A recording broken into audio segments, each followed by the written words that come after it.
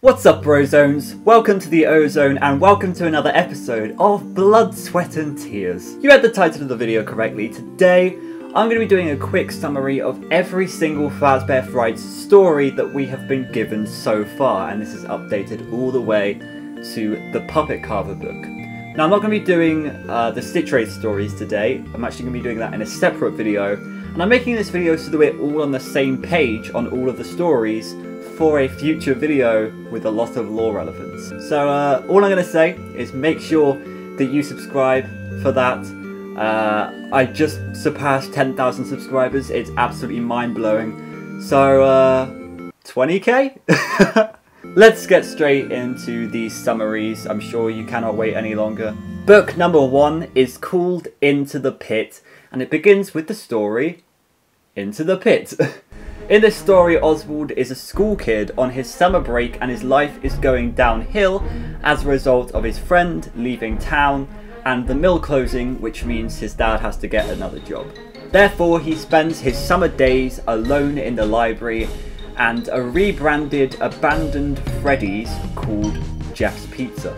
And at Jeff's Pizza, there is a ball pit, uh, which actually takes him 30 years back in time to the year 1985. Back in time, however, weird stuff happens, like when Oswald's pockets fill up with loads of Faz tokens randomly. There's also a creepy man in a Spring Bonnie costume that only he can see. One day he goes back into the bull pit uh, to hear screaming, and it turns out that Spring Bonnie had killed six kids in the party room and tries to kill Oswald as well. He runs back out of the bull pit, uh, but his dad gets pulled in by Spring Bonnie. Uh, and then the bunny comes back, and everybody sees him as his dad, and it, which is weird. It's it's confusing.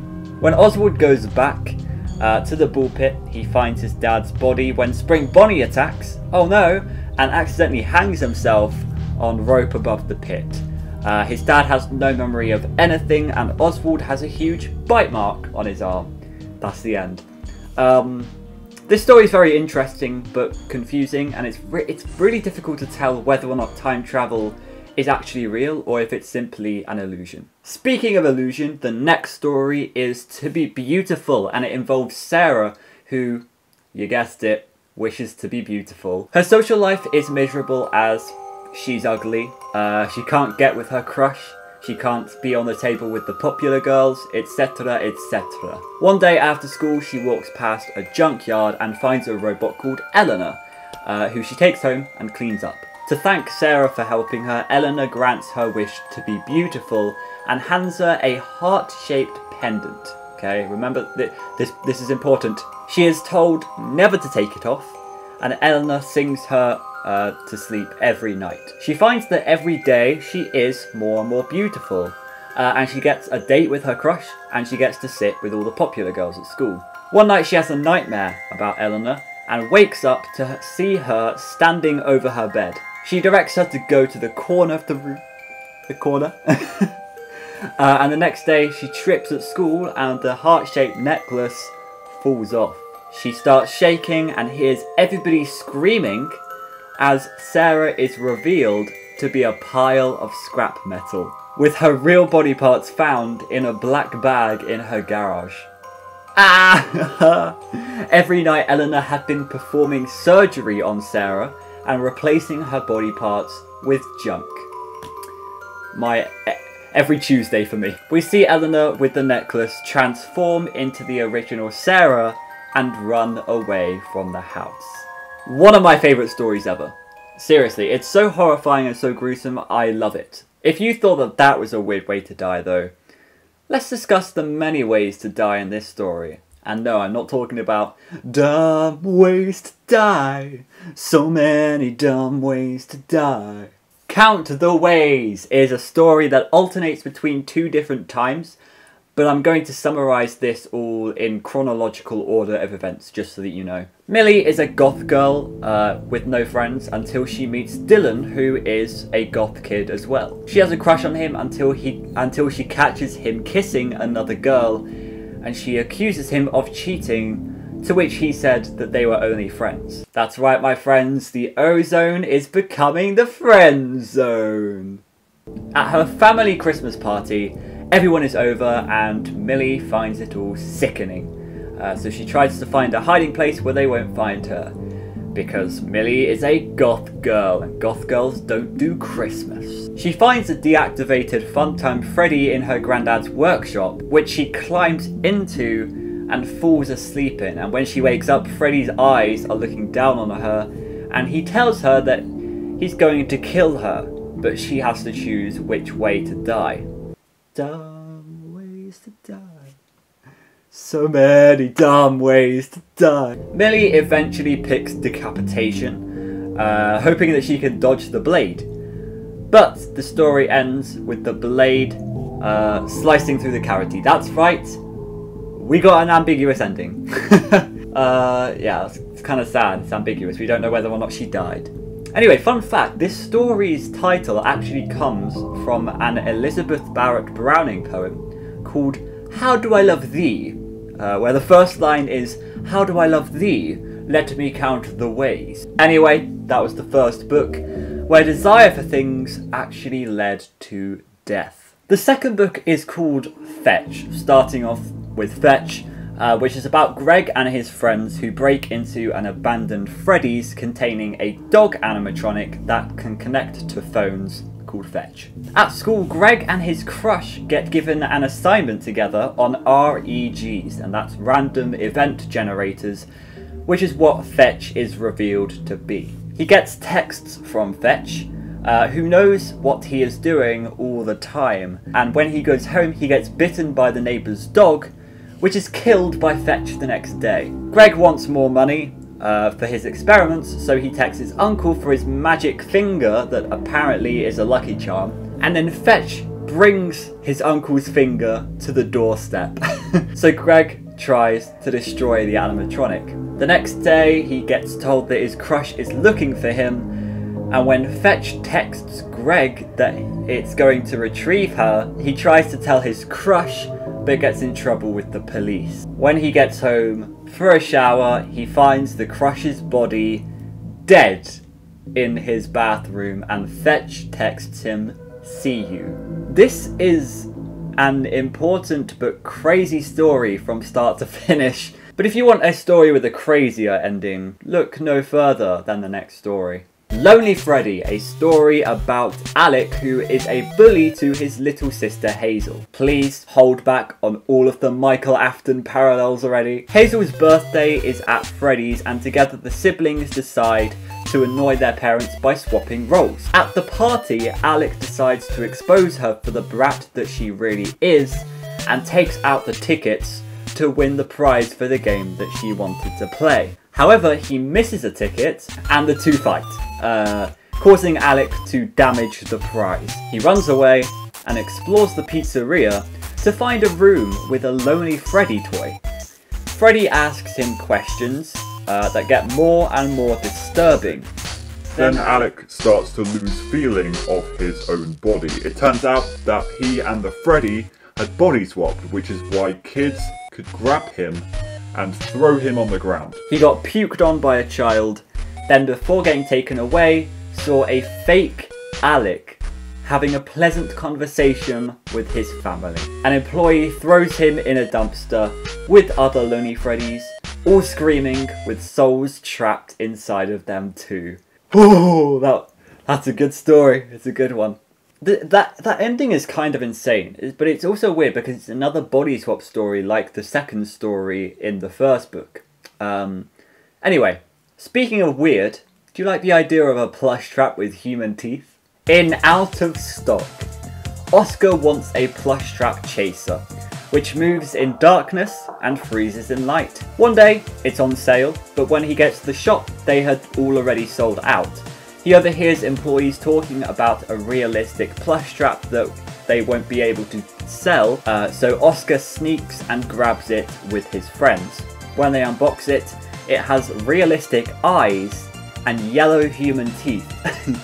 and they can't figure out how to turn it on. A few days later, they find out how to charge it, uh, then a storm makes the lights go out. They go to grab flashlights to find the plush trap chasing them. Remembering that it gets deactivated by light, they shine their lights and stop it in its path. Very smart, big brain. They have the idea to run all the way to the train station, where they lead the plush trap to the tracks and stop it for the train to drive straight into it. When they look at what was left, they see a mangled jaw and human eyes. Then they go home with a happy little ending. Now, it might just be me who believes this, but are we sure that this isn't the Springtrap from In the Flesh? I guess that doesn't make much sense, really. I don't know. Anyway, we'll get there soon. Speaking of which, that is the second book in this in this massive marathon. All stories revolving around kids wanting control over something in their lives. Let's move swiftly on to book number three. 1:35 a.m. shows Delilah who works at a diner. That rhymes. That is kind of harder to say than you think it is. Delilah, who works at a diner. She goes to a garage sale when she wakes up late and finds an Ella doll that looks like the child she wishes to have and doubles as an alarm clock. Brilliant. You, you have a, a child that you want and a, an alarm clock. Setting an alarm for 1.35 pm, Delilah takes a nap before work in the evening. Uh, the alarm didn't work, so she threw the doll out. The next few nights, she wakes up at 1.35 a.m. on the dot uh, and hears whispering, window tapping, something under the bed and gets extreme paranoia. After not being able to find Ella, she drives out of town thinking she wouldn't be followed but continues to get tormented. She then runs to a construction site and hides deep inside of a vent to the point where she is completely stuck and relaxes knowing that Ella will never bother her again. That's a strange ending. It's like me jumping into a volcano knowing that I'll never have to touch water again. You may be asking, why 1.35 am? well, in the novel trilogy, Charlie's birthday is actually the 13th of May one one three five. A lot of you are gonna hate me for that because it's the wrong way for dates, but uh, let's just move on so that we don't cause an argument. Room for One More is one of my favourites. Stanley works in an underground facility, being told not to let anything out. On night one, he sleeps until he is greeted by a Minireena, which can say small phrases. He goes back to sleep for a nightmare about his ex-girlfriend on a date with another guy, whose spaghetti turns to worms and wakes up with a swollen arm and a sore throat. The next night, he naps, wakes up to another Minireena, then has another nightmare where he's in a taxi late to work, but the taxi driver is Funtime Foxy, who attacks him. His other arm becomes swollen, and his sore throat worsens. You can see where this is going. On the third night, the same thing happens, but the nightmare is about him at work in the dark with an attacking Funtime Freddy. His legs get swollen and he goes to a nurse who finds blood on the back of his throat. Stanley goes back to work the next night and writes an apology to his ex-girlfriend thinking that he is going to die. Again, he wakes up to a Minireena, but then realizes that each Minireena was different in his nightmare, he's at the dentist with Ballora as the nurse, and he awakes to find the Minireena climbing into his mouth. The Minireena says, Isn't there room for one more? I don't think they said it like that. Isn't there room for one more? Before rummaging down his throat as he screams to his death. This is why it's one of my favourite stories. It's it's so good. It's so good. I love it. But let's get into probably what was a fan favourite from this book. The New Kid is about Kelsey, a popular new kid uh, who joins Devon and Mick, who are lonely nerds. Hashtag relatable. Devon is actually surprised that a popular kid has joined the duo, but at the same time, he's upset about how perfect Kelsey is in every single way because his crush likes Kelsey more. Now these guys like looking for places they can use as like a clubhouse, um, and Devon takes these guys to an abandoned Freddy Fazbear's Pizza. They explore and find an old golden Freddy suit. Devon encourages Kelsey to put it on and he starts to dance, which triggers all the spring locks. He dies in the spring lock suit, and Devon begs that Mick doesn't tell anyone. They run away, hoping one day he'll turn up to school alive. But there was no sign of him. Devon goes back to the pizzeria to find Kelsey is no longer in the suit. He takes a closer look and sees that there's a black curly haired boy in the suit instead. He gets his hand trapped uh, and supposedly dies from blood loss or whatever. Now you'd think that that's the end of the story, but strangely we see a scene where Kelsey joins a new school, finds a couple of kids, and asks them if there's any cool places to hang out. I know, it's a bittersweet ending, but it also seems very significant to the lore in some way. I mean, for one, we do have the most significant animatronic, I would say, Golden Freddy, so that's one thing. Anyway, that's the end of book three. Stories birthed from the pain of loneliness. Now let's take one step closer uh, to the end of the series. That's right, the fourth book is called Step Closer, and the story involves Pete, who has to look after his brother Chuck as a result of his parents' divorce. Pete tries to scare Chuck at Freddy's uh, in the maintenance room with Foxy, but his shirt gets caught, and Foxy comes out to him singing, You can be a pirate, but first you'll have to lose an eye and an arm. That was pretty good. Over the next few days, multiple sharp objects seem to fly towards Pete's arm and his eye. A scalpel, a knife, a buzzsaw, a fishing hook. He also has nightmares about Foxy taking out his eye and his arm. Uh, one day he's at Homecoming Carnival and more Army Eye stuff happens. Then he realizes that it will only stop if he goes to confront and avenge Foxy at Freddy's. On his way to Freddy's, he gets hit and killed by a truck. At the end of the story, we see Pete conscious but unable to move his body, watch as his body gets taken apart as an organ donor. One of the reasons I love this story is because to me it was the evidence that I needed for Michael Afton to be the older brother. There's a lot of evidence for it, even the small things like the fact that he was an organ donor. I may have a whole video covering this story uh, in more depth in the near future. Speaking of near, sorry, that, that was a very bad tangent. the next story is called Dance With Me. Uh, it's about Casey. That's right, Casey, not Kelsey. Don't get them mixed up. So Casey and her pals are thieves, and she steals a woman's purse at Circus Baby's Pizza World. Inside, there's a pair of children's glasses that say, Put on the glasses and Ballora will dance for you. She puts the glasses on and sure enough, a holographic Ballora image starts dancing. She finds out a few things about this Ballora. Firstly, it seems to be getting closer and closer to Kelsey. I said Kelsey. Casey.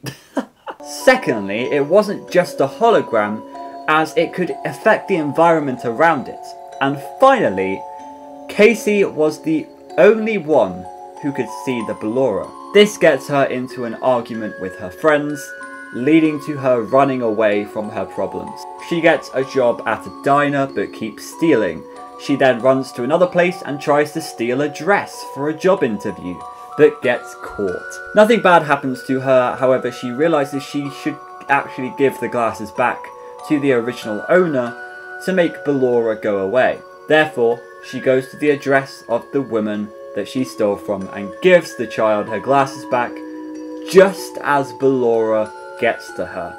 And the kid starts to dance. Now it's unclear here whether this means that the child was possessed by Ballora or if she just wanted to dance with the Ballora. Uh, but a lot of people don't like this story, and I don't really know why.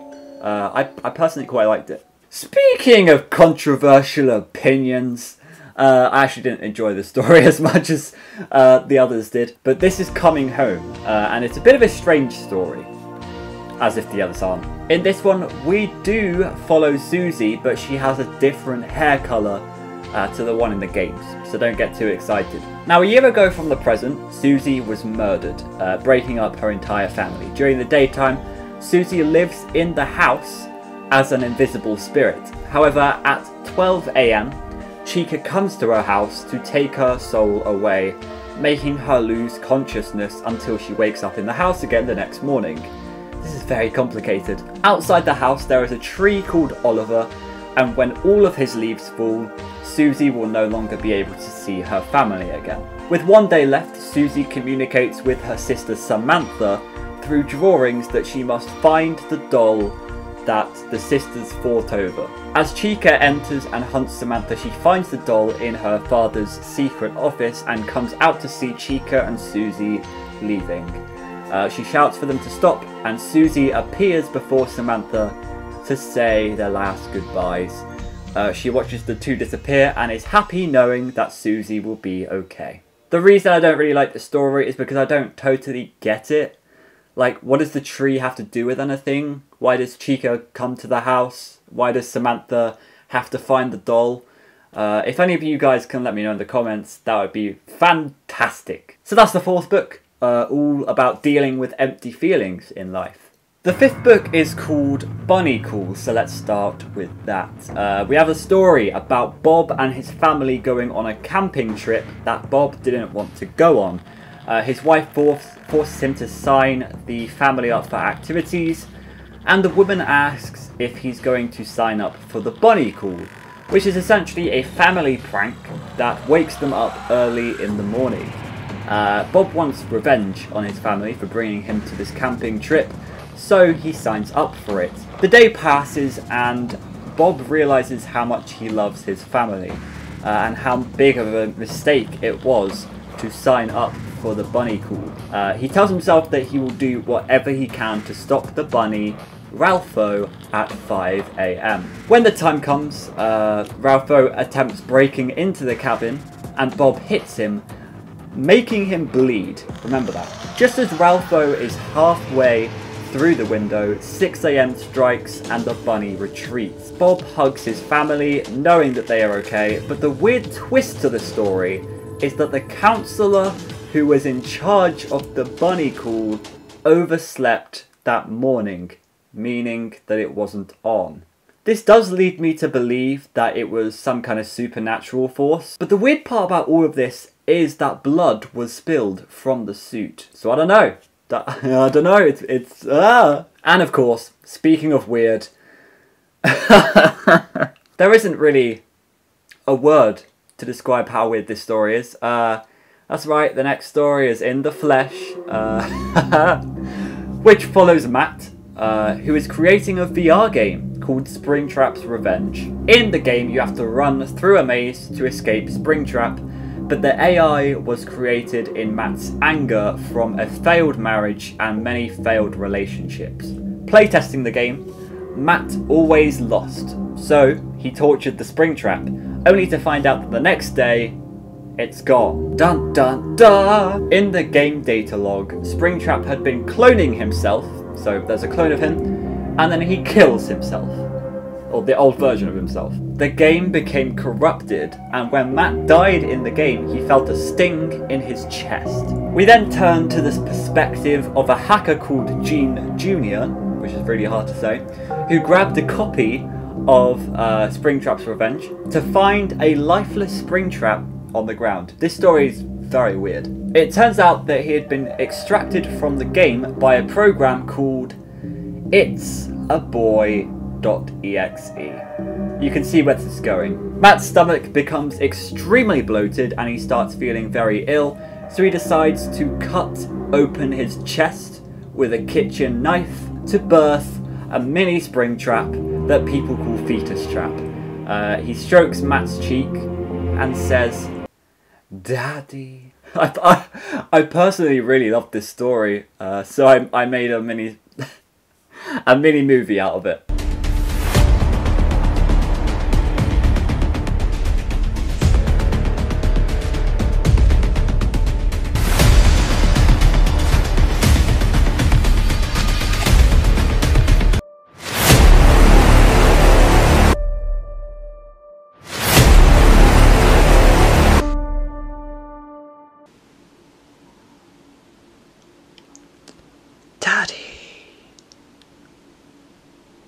Anyway, speaking of movies, this is this next one is a story that I really want to see in theaters.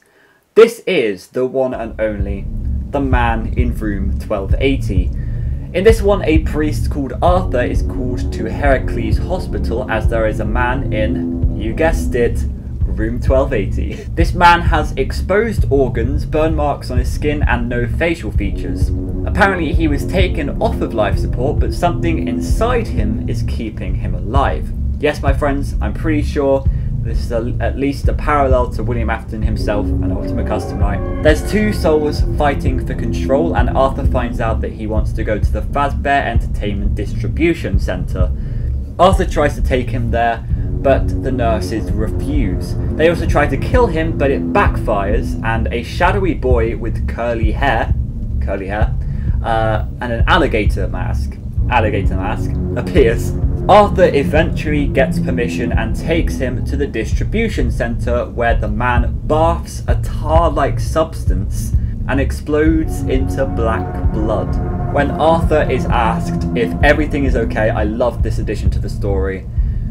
He says that for the first time he believes that it is not. And I believe that this is probably the beginning of the Fazbear Frights timeline, which is going to be a whole other video. And that's funny cool. Uh, three stories about darkness, I would say, uh, which leads straight into the sixth book called Blackbird. I would like to say, if you're watching this video all the way through, tell me in the comments because I really appreciate that. I don't know how you're sitting through all of this with uh, with with so much to go, but uh, I hope that you're enjoying at least. you're making notes, You're writing this all down on a piece of paper. Let's move into Blackbird, uh, which is about Noel and Sam, who have to create a short horror film in class. The plot that they came up with is where a person confesses their deepest secret to the Blackbird and it punishes them for it, uh, which is actually based on The Raven by Edgar Allan Poe. So Sam creates a Blackbird costume, while Noel confesses his darkest secret. He was a bully to a poor girl in high school. Sam gets angry at him as he has always been the victim of bullying and Noel seemed proud of what he'd done. Later, Noel finds out that Sam had been run over by a train in the costume, uh, and he has nightmares where the blackbird watches him from the corner of his corner.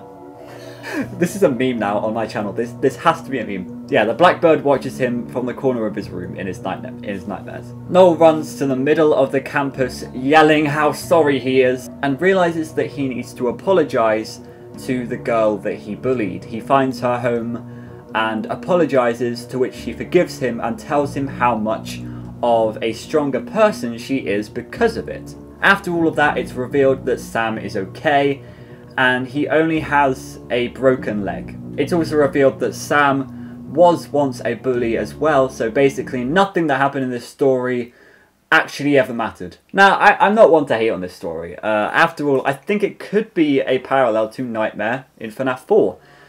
But we'll have to save that for another video. Now, this next story I might actually have a really difficult time telling because I absolutely love it. I love it so much. Uh, but it's so emotional. The real Jake is about Jake, who we see a lot more of in the epilogues. So Jake has a brain tumour, Wink wink. So he spends most of his time in bed under the company of a family friend, Margie, as Jake's father, Evan, is in the military overseas. Every night, Jake talks to Simon, who lives in his closet, uh, and he asks what Jake has done that day, and Jake always responds with dull answers and what he actually did, uh, which leads Simon to ask what the real Jake did.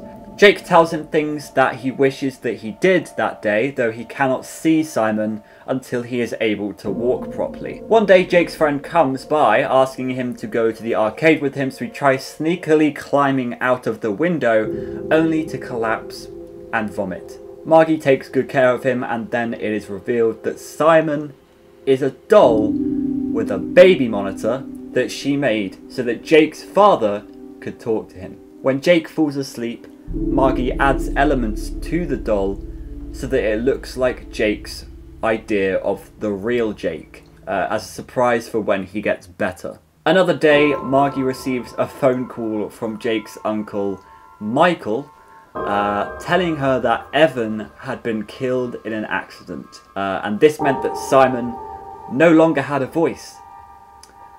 So Margie tried to make up excuses for Simon not talking to Jake that night, uh, and in the morning, Jake's Jake looks worse than ever.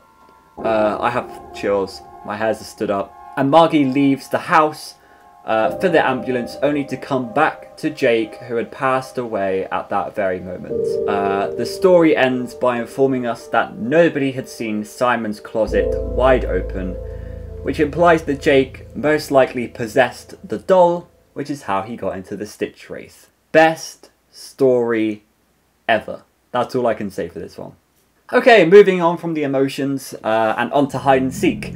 The story is about Toby who can't beat his bully older brother in any arcade games, so he decides to get a win in a new attraction, which is called Hide and Seek. The game is a room where the player is a seeker who has to find the hiding Shadow Bonnie cutout.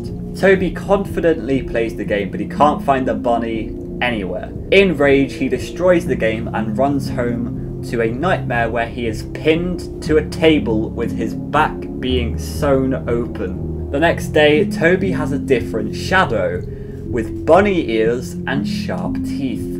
And he tries to drown it so that it would get rid of him, but instead he almost drowns himself. He has an emotional talk with his brother, and the shadow slightly fades, showing that it's fueled by Toby's anger. When Toby goes back to the arcade, he realizes that the game was still going on and that he could forfeit the game to get rid of the shadow. Stupidly, he decides to play and completes the game by slamming himself into one of the props and killing himself. Only pro gamers would sacrifice their lives to get a number one victory royale. So there we go. That was book number six with stories about being haunted by past events. Let's move on to The Cliffs, which involves a single father, Robert, who looks after his two year old son, Tyler. Uh, Robert is upset as he doesn't think that he is good enough for Tyler, which is kind of bad knowing that they live next to a cliff that is famous for mass amounts of suicides. They go shopping one day and Robert buys Tyler a tag along Freddy that sends Robert updates about Tyler when he isn't watching him. One day, Tyler is playing in the sandbox when Robert receives a phone call inside. When Robert comes back, Tyler is gone, uh, and Freddy just tells Robert, gone.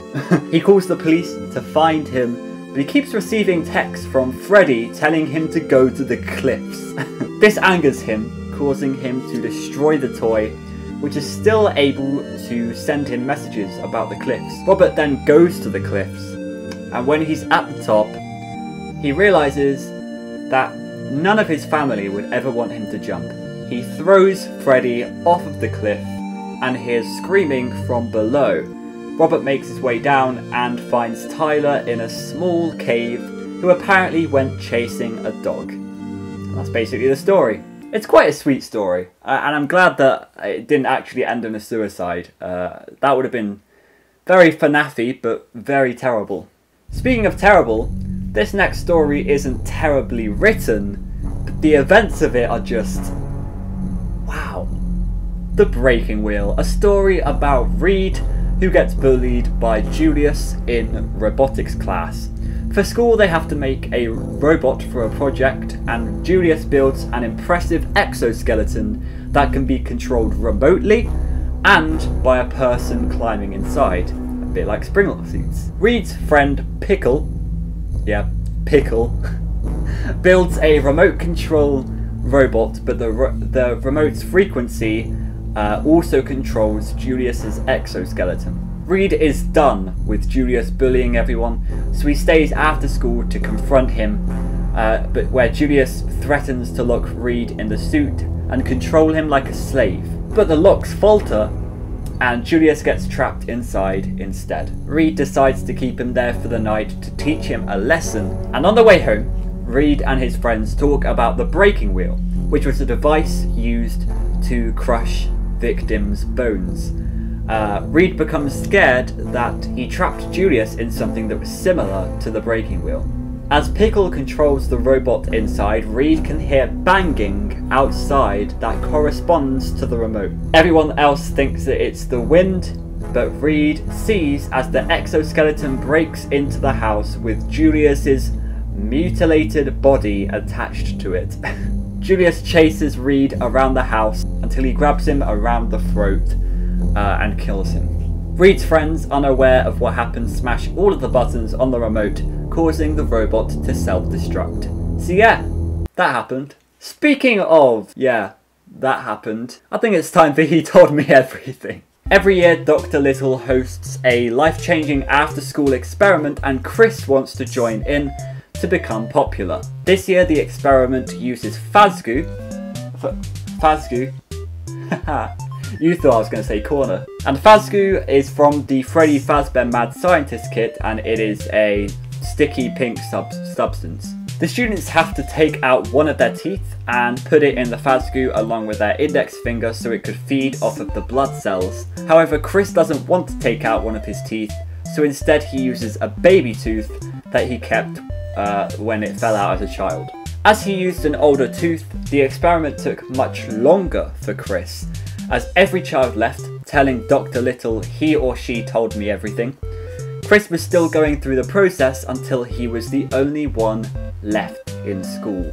He took naps, and when he woke up, there was a goo monster on the table next to him, uh, and it was on the end of his finger, and it resembled him. They looked the same, and they had the same heartbeat. Chris tried to cut the tendril between the fingers, but he couldn't as the goo was draining his energy. As he realizes that the goo was taking his life and cloning him, he told the monster to be good to his friends and family, something that he should have done before. Chris melts and the duplicate hands a bag of his remains to Dr. Little, saying, He told me everything. Now I can see why people get mad at this story. They took the word goo, put Faz in front of it, and suddenly it's a FNAF story. I, th- I think it's quite funny though. So there you go, that was book number 7, containing stories about learning things the hard way. Book number 8 is called Gumdrop Angel, and yes, we are almost there. Uh, Angel is at Freddy Fazbear's for her stepsister's birthday party, and she meets an assistant manager called Dominic, who she finds cute. As the party ends, a birthday gummy is dropped from the ceiling, which is a life-sized girl made out of candy. Children can eat the candy, but the gumdrop nose is for Ophelia. Angel gets a little mad because uh, her stepdad bought her ponies and expensive lessons, but stops her from calling Dominic and won't play and won't pay for her college tuition. Out of anger, Angel steals Ophelia's gumdrop nose and eats it, tormenting Ophelia over how delicious it was. Later, she wakes up to find her body itchy and her skin red. She showers and tries to get it off, but the rash continues to grow and become scaly. You can see where this is going. She then realizes that her face is like a wet gumdrop and that this all happened from Freddy's. Angel calls Dominic asking what he did to her, to which he tells her she needs to get to Freddy's as soon as possible. When she gets there, the rash has become much, much worse, and Dominic leads her to the back room with a box. She enters the box and hears Dominic crying as she loses consciousness. When she wakes up, she is lowered as she hears children cheering. She is the new birthday gummy, and all she can do is sit there while she gets eaten alive. Wow, did you get? Did you just get the chills too? I got the chills. I love the addition of Dominic crying in this story as as she falls asleep. Uh, it, it makes it ten times more powerful than it otherwise would be. Anyway, moving on to another story that may give you a different type of chills. Sergio's lucky day is uh is well about Sergio, uh, who's actually upset about becoming project manager at work, and is upset about his relationship as he actually still likes a girl from high school 10 years ago. His life starts to become really unlucky as it rains. His car breaks down and he makes his way to a gas station where he finds a toy in a garbage can. This toy is a balloon boy holding a sign saying, I'm a lucky boy. When Sergio buys a lottery ticket, he wins $600,000 uh, and asks the toy what he should do with the money, to which he responds, Spend it. he spends the money on expensive things and doesn't buy anything for his girlfriend, causing a fallout. Basically, this dude is a scumbag. Lucky Boy continues to tell him what to do in his life, and Sergio continues to listen, no matter what. He's attending a high school reunion and wants to impress his high school crush, so asks Lucky Boy how he can become more attractive. He tells Sergio to cut off his ears, his eyelids, his hair, his nose, and more, mutilating himself, basically. He gets to the party, and everyone begins screaming as he leaves a trail of fleshy blood behind him. So yeah, that one definitely gave me a different type of chills. In fact, that was just describing my morning routine, so it didn't really affect me. That story was fire, to be fair. Speaking of fire, let's move on to what we found. Uh, which actually takes place in Fazbear's Fright. Hudson is the new security guard and he's had a pretty terrible life. Uh, his, his father committed suicide and his stepfather beat him. Bullies flushed his head down the toilet and teachers said that he had no potential. Uh, however, a lot of people are scared of Hudson as he was the only one that survived a fire in his family home. A few weeks into his job, a Springtrap with a human corpse inside gets moved into the location from an old Freddy's. Hudson touches the flesh on the Springtrap and he starts to hallucinate all of the bad things that have happened throughout his life. His head gets slammed into an arcade machine as he hallucinates being beaten up by his stepdad. He sees that the Springtrap has moved and hallucinates being dragged to the toilet by the school bullies. As he picks up a hammer and a knife to protect himself, animatronic mouths calling him stupid crawl up his body and try to get into his mouth. Uh, this be like room for one more. He drops to the floor crying and wets himself. He gets attacked and bitten by Springtrap, but it was all an illusion. He gets thrown across the lobby and taunted by hallucinations. Then he hides in an oven but gets locked in. The oven gets turned on from the outside and at that moment he realizes that it was him all along that set his own house on fire and killed his family. What a twist! As he comes to the realization, he burns to death, and the next morning his worker friends come down to the smell of burning, but everything is in the same place as it was when they left it the previous night. This story is fantastic because it's exactly what we all wanted. A story closely related to one of the original games. Anyway, that was book number 8, which was an extremely strong book, uh, and one containing stories about bad luck and misfortune. Now let's move on to the final book for this video. Uh, there are going to be two more books after this, but at the moment we're only up to this book, so let's quickly cover the Puppet Carver. The Puppet Carver is all about Jack, who is a horrible boss of a pizzeria and a horrible person to everyone in his life. His business isn't doing very well, so one of his workers, Porter, shows off a machine called the Puppet Carver which creates animatronic out of wood for a very low cost. It malfunctions and Jack fires all of his workers in rage. Later that night, uh, Jack hears something coming from the machine, so he goes inside to see what's wrong. The door locks behind him and buzzsaws approach his body. The story gets weird here. Uh, I must tell you that Jack manages to escape the machine just in time, but it's wildly, wildly, widely theorized that he actually died in this machine and was replaced by something else. It will become quite obvious what he was replaced by soon.